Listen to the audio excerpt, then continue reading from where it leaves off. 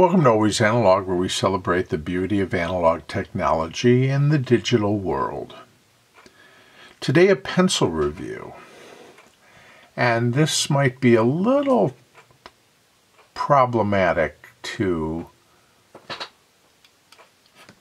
record properly because the paint job on this pencil is so glossy and so slick. Uh, it's very hard to photograph this and not get all kinds of annoying reflections from the lights. So I'm going to do my best and I will have to angle it mostly. Uh, but first of all, let me say thank you to my pencil pal Bob Lazzari, who sent me this pencil among a number of others some time ago. And I have just now getting around to reviewing it. Um, and this is the uh, Tombow Mono 100. This pencil is in a B core grade. And um, this is just such a beautiful pencil. Not unlike what we normally see with the Japanese pencils, but uh, wow, this really does um, uh, does show you the highest level of manufacturing quality here. So let's just take a closer look at it to the extent that I can do this um, without a lot of glare. The pencil is, it appears black, but it almost in some angles looks to be a very deep, very deep blue. If any of you are certain of the color, please share in the comments. Because the cap here is black.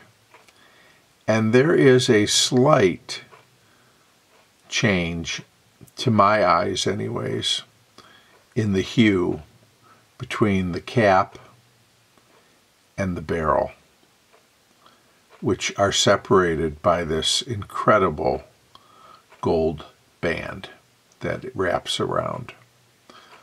So this is a hexagonal pencil, so let's start with that. There we go. You can see the beautiful cedar there very well centered core. No drip marks or anything here on the end. And then let's start with what we can see. So we have um, on one side it says highest quality. The Tombow trademark there, which is the dragonfly. Homograph, Mono 100, and then B with two little almost asterisks there on either side. Then you have the gold band. You have this round cap so the cap is not hex like the barrel, but it is round with this white stripe that goes around it over the top and down two of the sides. So there's that. We turn it, we have the product code there. So understanding these are sold individually uh, as well as probably by the dozen. And then we have, again, our mark of the core grade B. And then here we have for high precision drafting B. There is the pencil. It's made in Vietnam. See the emboss here? It's hard to make out, but it's there. Made in Vietnam. And then it looks like there is a number there, probably the production number. So, Japanese company. This pencil is not made in Japan. Pencil is made in Vietnam. And again, the paint on this pencil is pretty much flawless. Just beautiful. Absolutely beautiful. So there's the pencil. Let me um, get a sharpener and we're going to hand sharpen this. And it does say it's for drafting, but I am not a draft draftsman. I we will just use this for writing and see how we like it. Okay, we will commence sharpening here. You can see that beautiful cedar ribbon coming off of this pencil.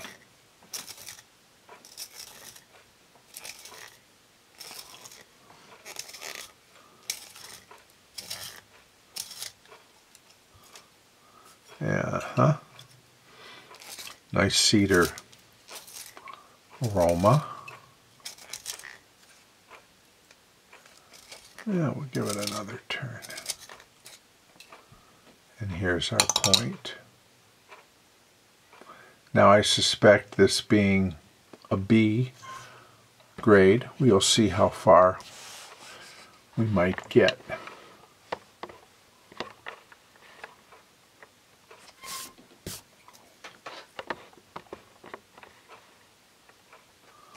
Okay.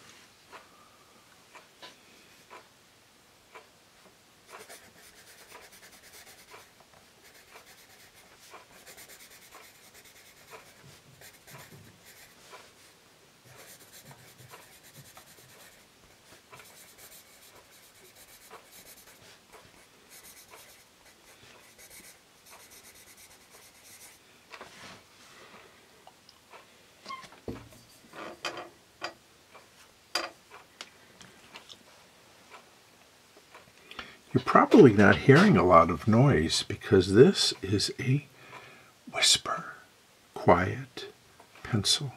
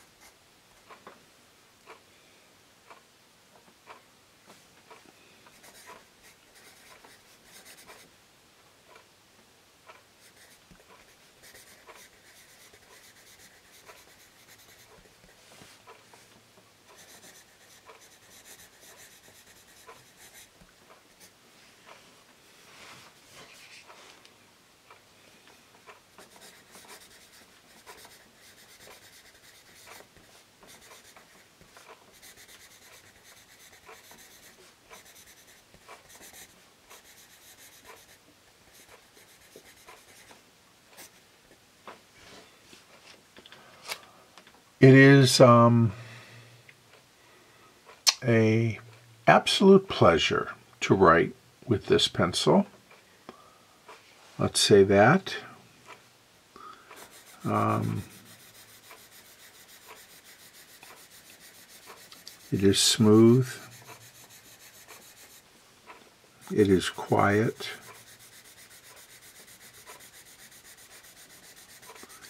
It has a very nice dark tone.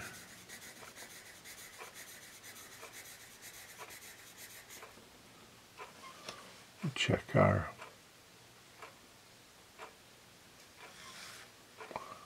point here. Yeah, it's wearing, as we would expect with a B. So it's essentially a, a number one. Then here comes the smudge. We have a drag we might expect.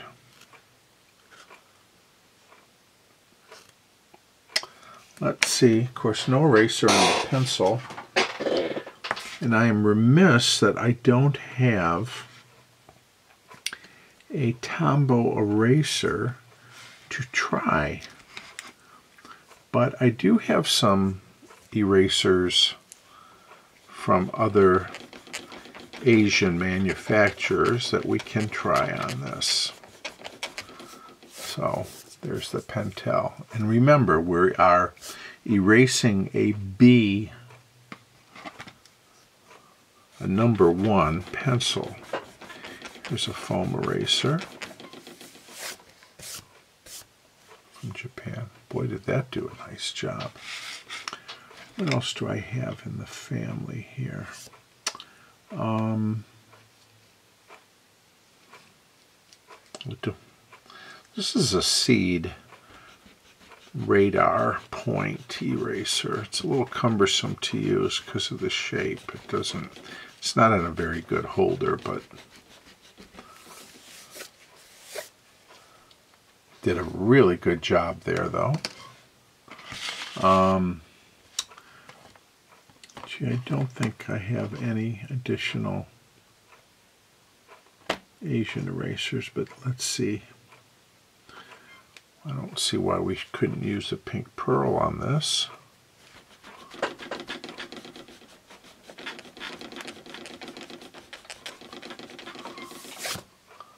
Okay. And um, how about a Mars? Mm-hmm. Oh, Milan.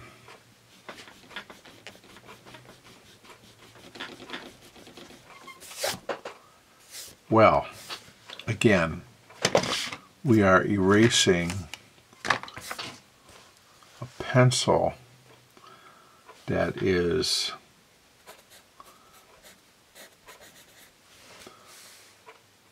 and I think using, you know, a variety of erasers, while there is a faint shadow here and there of the graphite for a core so soft to erase that well, I think is pretty good.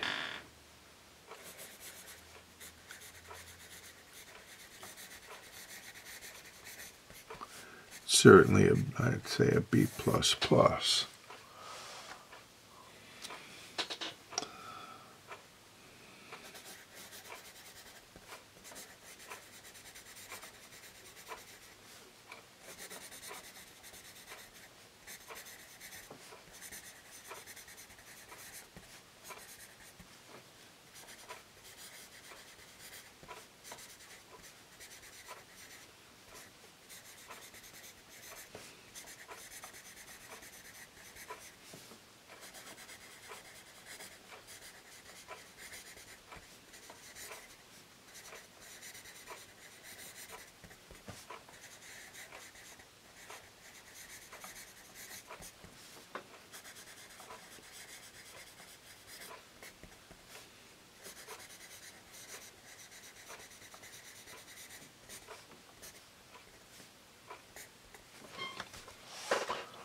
Yes. Lovely. Thanks, Bob, for sharing this with me. This is the first time, and I've reviewed a lot of pencils. Uh, this is my first really experience with the Mono 100 uh, in the B grade, and it's a beauty. Thank you, and thanks to all of you watching. I hope you enjoyed this episode of Always Analog. Please feel free to subscribe if you like what I do. And you can also hit the like button, share the video with friends and family who you might think would enjoy. And uh, I will say thank you, and I'll look forward to seeing you again soon here on Always Analog.